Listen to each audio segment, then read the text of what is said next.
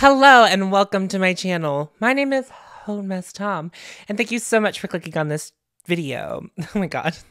If you are new here, my channel is all about loving my collection as it currently is, being critical of new makeup releases, and also being thoughtful about what we bring into our makeup collection. And I say that as someone who has spent too much money on makeup and has a collection that's out of control and I'm trying to get it under control. That's like the basis of my channel. So if that sounds good to you, I would love to have you subscribe. And don't forget to like this video. I would appreciate it if you did that. And I'm also on Patreon if you would like to support me further there. This is another episode of Critical Sass. Critical Sass are my new makeup release videos. We talk about the good, the bad, the ugly, the sad. That's what we're doing here today. Let's get into it. I use a number of Instagram sources. So I use Trend Mood One, Makeup Release Radar, Beauty News Official, and occasionally I will use Chic Profile Official because she we'll post some more luxury things that we don't really see on other other Instagram handles. So those are all the resources that I tend to use and I typically do use photos from them, so I appreciate all the hard work that those Instagram profiles do. So I will link those Instagram handles in the links down below, as well as if you wanted to support any of the causes that I currently am supporting and oppose things, check it out in the links down below. I also have a podcast where I talk about music with my friend Tiffany. All down below. All down below. So wherever you want whatever you want to find is in the links to below, as well as what I'm wearing on my face, all of those good things. We love to see it. Although I think a lot of what I'm wearing today is discontinued. Let me just open up trend mood. Let's let's roll. So I will just be going from what's newest back to what I hit in my last critical sass. The critical sasses have been shorter recently, which is okay by me. There's also some brands that I just refuse to talk about on my channel. So if you don't hear me talking about them and they have new releases, very likely not a brand that I'm interested in talking about on my channel. So the first thing that intro that sparks interest is I guess Walmart and Space NK. And they're going to bring prestige beauty products to more than or about 250 Walmart stores nationwide. A thoughtfully curated collection of prestige products specifically for the Walmart customer. Brands like Slip by Terry, Philip B, Lancer, Mario Badescu, Foreo. So the thing I guess that sticks out here the most would be by Terry in a Walmart seems like bizarre. Like some of the other brands, like Mario Badescu, I feel like that's like I don't, I don't, I guess I didn't realize that Mario Badescu wasn't already sold at Walmart because it's, it is rather inexpensive. So this is interesting. I don't know what this means. I don't, it, it's, it feels late for Walmart to be getting into like the beauty game otherwise because I always thought like Target's beauty section was pretty good and they had like a nice rotating list of things. And they also had like colored rain for a bit if they don't still have it. And also Ultas are now going like there's going to be like Ulta and Target, which is you know, I think really smart. Although I don't know if that started happening. I think it has. If you have an Ulta and Target, let me know because it hasn't happened at the Target that I typically shop at. But doesn't mean it's not happening at Targets. It just might not be happening at that Target because there is a there's an Ulta not far from like in the same complex. So that would make sense maybe why they wouldn't put an Ulta in Target there, but also why not? So I don't know. I don't know what the greater ramifications of this are. I just can't see uh I don't know. I just can't see someone who normally shops at Walmart buying by Terry unless they are someone who already shops and like likes luxury makeup but also shops at Walmart. And obviously that's not judgment to anyone who shops at Walmart. I personally don't shop at Walmart, but it's also something that I actually don't have easy access to where I live. Much easier for me to get to a Target, much easier for me to get to. Not that there aren't Walmarts. Available now, there's the new summer 2022 collection by NARS. Summer unrated blush bronzer duo, Orgasm X, and Casino. Oh, so there's three different well, I don't know. I guess that's not bad. Um, there's three different cheek options. They're duos, which I actually that's not a bad idea. I don't think so. Here's the thing. I read NARS quite a bit. Also, this looks like a nose. I was like, does this look really big for a NARS palette? I read NARS quite a bit for being a bit boring. And they are, but I know that there's a market for it, but it just is like if we're not really going to change the shades that we include in our palettes, why not innovate like textures that are going to be available in Sephora or something like that? I just like I don't I don't see why I don't just I don't know. I don't know why I should buy a NARS palette over all the other things that I could buy. Right? Like I just don't see it. And I don't really care for their blushes. The only one I really like, I think it's called Sinful or Sin. It's like a purple blush. It's really pretty and it works on the many, many skin tones because of just like it's like a different color. So it's not like you can compare it to much else. So anyway, that's my thoughts on and also I do think that NARS makes some pretty foundations and I think they do an okay job with their shade range. So like that's what NARS does for me, but this palette is pretty, but it's also just like again, why should I buy that? I could easily I easily have things in my collection that are like just as beautiful as that. And I think that that's the other thing is like a lot of people do. But it does seem to me that people who really love neutrals cannot get enough of neutrals. Like they want neutrals from everywhere. So I get it, but also I don't. Like I just. Ah, It's not that I'm bored with makeup, right? Because I really like the collection I have. And I just bought the Hila palette from Odens Eye. And I've been having a lot of fun just fussing around with that. It's like a beautiful palette. However, it's not like I'm looking for trendy things either, because I think that sometimes we get really messy with trendy stuff where it's like people try to push out a product too fast in order to like hit the trend and it's just not the move, right? Like I want to see I just think that brands have stopped thinking out into the future and are just either have are not going to try much anymore. Like I feel like NARS is like they're not reinventing the wheel, right? And also they're just like repackaging things that are already in their collection as far as cheeks go. So my my thing is is just like why aren't brands that are sold in like Sephora or Ulta where why aren't they thinking down the line and going like well this isn't popular now but when a year from now when we release this what's going to set us apart? And i don't just i just don't think anyone's uh vying for individuality anymore as far as brands that are carried in in stores like or that have counters. Like i just don't think that any brands that are i just don't think they're doing that. I just just don't think they are. So a little bit disappointing in my opinion from from NARS. Next thing, I never heard of this brand, but I think it's it's always fun to talk about different brands because why not? This is a brand called Sugary Cosmetics and they are releasing the Sugar Rush collection. They have a concealer palette and translucent powder. The concealer palette's $22 and then the powder is 12. So that's like pretty inexpensive. That's pretty affordable, in my humble opinion. You know, I think everyone has a different opinion of what affordable looks like to them. So I'm not trying to discount that. However, when I look at this palette, this concealer palette, it doesn't get too deep. And here's the other thing. Uh, a concealer palette like this is for makeup artistry that someone is doing on other people or if you are like someone who really wants to play around with like contouring and shape shifting in ways that like many people do not, right? If you are going to take it there.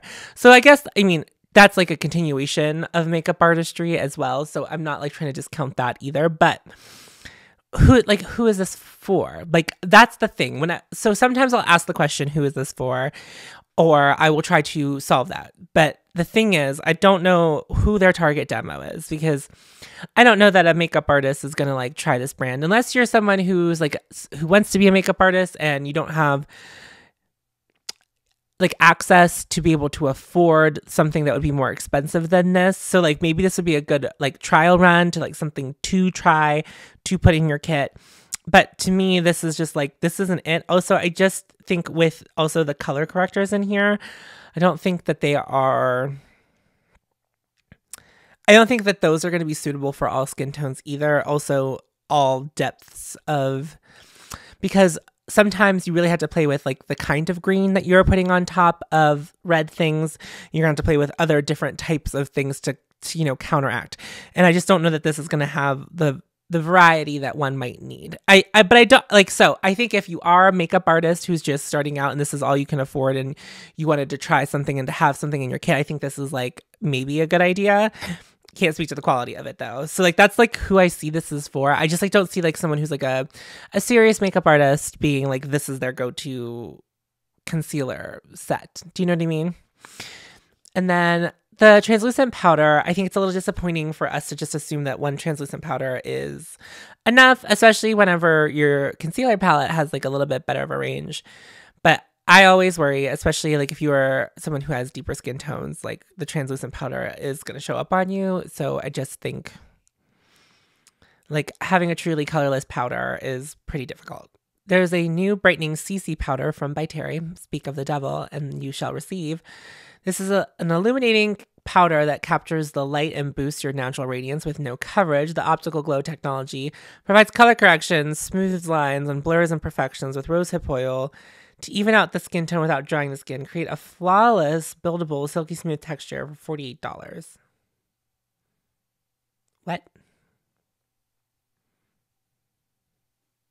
What is this?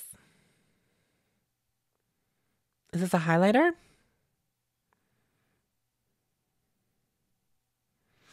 There's a lot of there's a lot of claims there. There's a lot of claim. Is this an all? Is this a, a finishing powder? What is this? That wasn't very descriptive. There appears to be only one shade of this. So whenever I see CC, that's like color correcting, but a shiny color corrector. I mean, it's limited edition, so I guess if you want it, you gotta go and get it now. But I, I would say I don't know about this. So so something that I could see this before like if you have like a skin tone close to this shade, I think this could probably be a very beautiful subtle highlighter that might even out and blur things that appear on your like cheeks where you would put it. But like I'm confused about what this is mostly. Like what is that? What is it? What is it? I know it says brightening CC powder, but like there's only one shade. So like I need I need I need more. Like I need I need what is this? It's a hell no no no no hell no.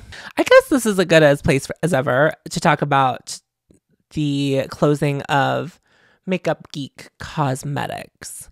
Now, I have never purchased from Makeup Geek, so I could be speaking out of line here, but here is the vibe that I get from Makeup Geek. Here's the vibe that I got from Makeup Geek. It was one of those brands that came into a lot of prevalence as influencers came into prevalence. And so hand in hand, they like came up together.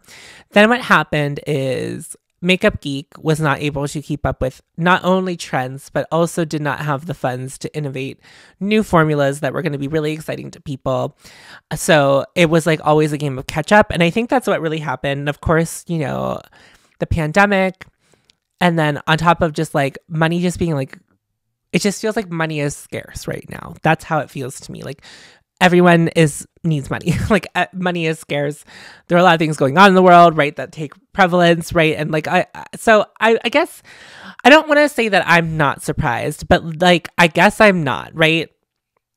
It is it's sad to see something that was i don't think that i could be speaking out of line here. I don't think that makeup geek ever got bought out by a larger company. So i think that it's pretty sad that a truly independent company is shutting down. The same thing with Midas Cosmetics that is either shut down completely or in the process like of selling out its like last stock. I did hear from somewhere. I wasn't really I'm not, I haven't been researching. I'm not going to follow like the business aspect of a bunch of things because the I do kind of like to speculate about what's going on with Sephora with especially with all of the brands now selling at Ulta too. Like a lot of brands are like selling at both retailers more than before. And I think that there's greater consequences there for Sephora than Sephora might think, or maybe Sephora is like a hellfire only talking about this in their business meetings. But I do think that that I like to think about that aspect of business things, but I don't really like to think about brands closing. So I don't want to be too harsh on Makeup Geek, but I will say this that Makeup Geek never made anything that inspired me to purchase from them ever. like, not one time did I ever think I would like to buy something from Makeup Geek. And I know that Marlena has had her highs and lows as uh, an influencer and a brand owner, which is to be expected. So I think that there was a, a lot of variables here that one could try to draw conclusions to. But I think overall, it's sad, but also, it also, I think, it just shows you how much like money speaks specifically in this industry. And I think a lot of brands who have failed to innovate, like I've heard good things about Makeup Geek formulas, but I think anyone who's failing to innovate is is really going to get lost in the sauce here and much quicker than and like much much quicker. Like so much faster than they ever had. Like it's and I think that's what's ha- like we have a lot of new brands coming in as well as it seems like some brands now exiting the scene. But I do wonder the longevity of the new brands that are coming onto the scene, right? Because they did not come up with the influencer culture. It'll be interesting to see how they navigate this versus like a brand like Makeup Geek who who has called it quits. I'll just leave that there. Okay, let's move along. I now I just thought of something that I definitely want to talk about. Mm, oh, okay. So Natasha Denona is going to be releasing a pastel eyeshadow palette. I don't know that that is what it's going to be called, but there was like, oh, it does say pastel palette. Makes sense for spring. It does. I am not a pastel makeup wearer. That is just not. I. It is either like green smoky eye, which is like my Like that is what I want to do all the time or if I pull out a vibrant, I want it to be vibrant. I don't really dwell in the realm of pastel. So, and also Natasha Denona is very much hit or miss for me. Not so much formula wise, but color story wise. It it it drastically varies from release to release whether or not I'm interested in it. And I can tell you this I am 0% interested in this.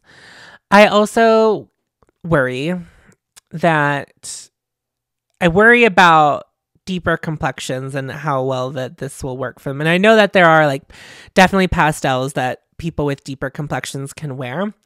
But just seeing this swatched on the lights, like a someone with light skin's arm, I don't have hope for this performing well on someone with a deeper complexion.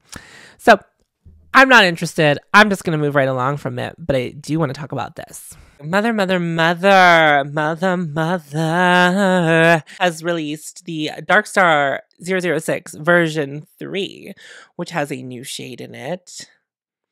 The Sextra Galactic shade, which is a multichrome. The Mehron mixing liquid. Interesting. Now that Mother has her own mixing medium, I find it very peculiar that you would put the Mehron mixing medium into this kit when you could put a mini of your own mixing medium.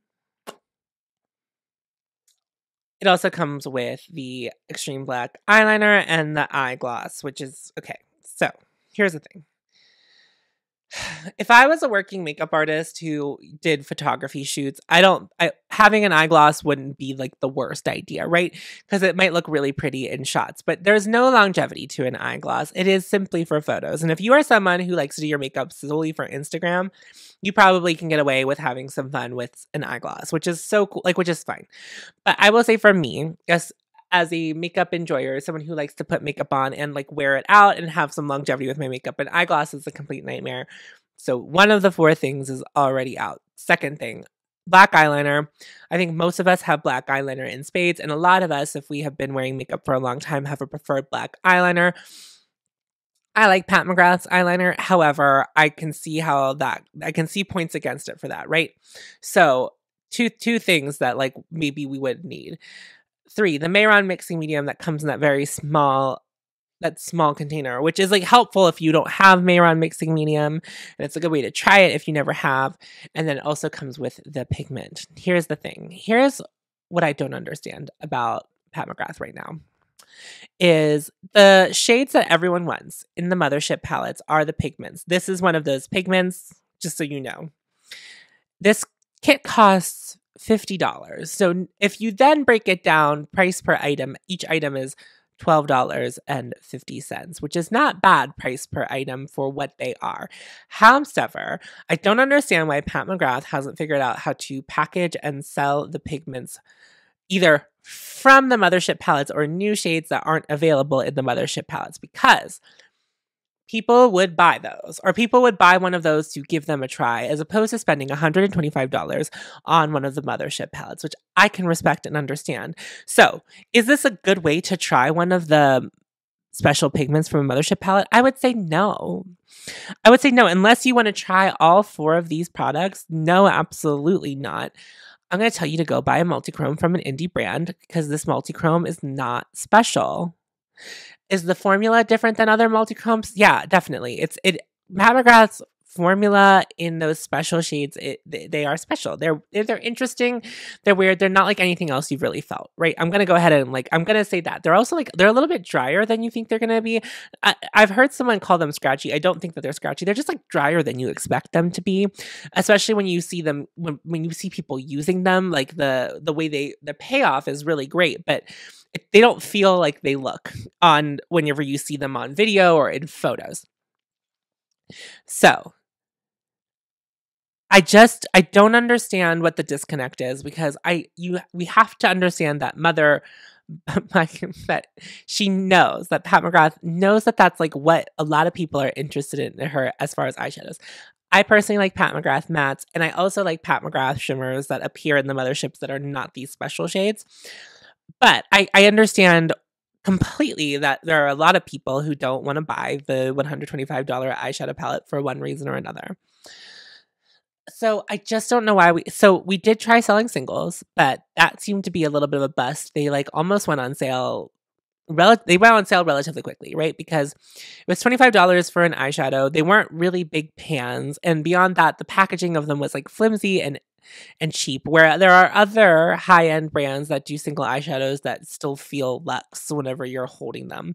And that's like a continuous problem with Pat McGrath's packaging is some of it feels very luxe and other times it feels like garbage. And I'm going to tell you that this little plastic thing that this pigment comes in is not going to feel luxurious to you. So you have to consider that too. If you are looking to buy this for a luxe experience, anything that comes in these kits with the sequins is not a luxe experience. The, that packaging is cool, although it's very wasteful and like, you know, you can feel about sequins and plastic glitter however you want. But like, I do kind of take that into consideration. It's like, it doesn't need to be packaged with sequins.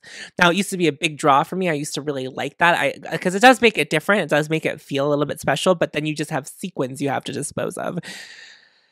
Anyway, I do have like big problems with this. So, why don't we, mother, if we're going to sell single shades and we want to sell these pigments as singles and mark up the price of them, which is what you would do because you're a luxe brand, what you're going to have to do is you're going to have to find single packaging that feels worth the price too, and that you can mark up as well. Because here's what's happening if you were to sell me a pigment in a plastic container like that, I'm not going to buy it. Like, the, uh, wh- why not buy a pro pan of another multichrome or another special pigment from another brand? Because I'd rather do that and be able to use it in my palettes. Because here's the thing those don't have pans they're baked into they're baked they're baked into like they have that like grid on the bottom so you can even like depot these to put in a pro pan. So there's there's I just you, there's a there's a lot to think about here. So, like, while we are onto something by releasing more multichromes and special shades, I don't think this is the route to do it because I don't think we're interested. Now, if you sold it as a duo for half the price, the Mehron mixing medium with the pigment, I think that's a good thing. I think people would buy that for 25 to $30. And I don't think that that's actually a bad price because I do think that multichromes, I understand that they are more expensive to formulate and create. So I think that that would be a completely justified thing. And then also people who've never tried Mehron mixing medium would get to try that as well as the pigment. But again, I still think it's weird that you're not putting your own mixing medium in the product. It does make me feel a little bit iffy about that. Ugh, in my last critical sass, we talked about the Gwen Stefani brand. And you know what it is? It's like the nightmare that I thought it was going to be. It's a red lip, it's red lips and neutral eyes. And the packaging is cute, but I don't care. I don't care. I don't even want to tell you what all the things in here. Like I'm so bored. This when what did you think this added? What value do you think this added to the makeup industry? Other than you making money. Here's the thing, babes. I don't think makeup lovers are going to buy this. Because I think a lot of people are going to ask what value. I think a lot of people are fed up with makeup brands. Now, if Gwen Stefani would have really latched on to No Doubt era, early solo career Gwen Stefani and had like a light blue lipstick and like a bunch of fun things, it'd be a different story. But this this looks like trash, mama. Danessa Myricks is releasing some more complexion stuff. So it's the Yummy Skin Collection. There's the Yummy Skin Glow Serum, which is 34 doll hairs. And then the Yummy Skin Serum Foundation, which is 34 doll hairs as well. The Glow Serum can be used as a highlighter or a primer. It comes in two shades, and the foundation comes in 26 shades with four different undertones. And I guess it has refillable packaging. So, uh, huh so I really want to be interested in this. I do think that this is a, an interesting release. I think that Danessa Myricks is really good at skin. She really is. However, I do think that the kind of makeup she does on her models is very specific to photography and not wearable. So, like, not wearable out. It's like she does very shiny makeup, which I think is, it's like clean, but it's very shiny. And I think that sometimes it reads like just too shiny. Now, I understand, like, I, my skin is naturally shiny. It's like, how lucky of me. So maybe that's my aversion to it. And I like radiance, but hers always looks wet. Her the skin that she does looks wet. And I know that there are a lot of people who like that look for the everyday, but it isn't me. And so I think that this is a, maybe a little bit too, this is too specific for me and what I like. Cause I have seen on Danessa's Instagram post, cause I do follow her. I think she's really talented. I do see her like using these on people, and I think, wow, that's really pretty with this lighting what's it going to look like when I go outside in not sunshine and it's like an overcast day? And maybe it's raining, you know, like without the beautiful lighting, I just don't know this is going to have the same effect. And I need something that's going to be a little bit more adapt, more adaptable to the situations. I'm running out of steam just a little bit. I think I have talked the talk and walked the walk as far as new makeup releases go right now. I appreciate you all so much for watching. If you are new here and you enjoyed today's video, I would love to have you stick around and subscribe. So you can go ahead and do that now. And if you want to see any other videos from me, well, I have quite the back catalog. So you can go ahead and check that out. And don't forget to like this video on your way out. Again, I'm on Patreon if you'd like to support me there, but no pressure to. And remember to follow your hope and you'll find me. I'll see you in my next video. Bye, friends.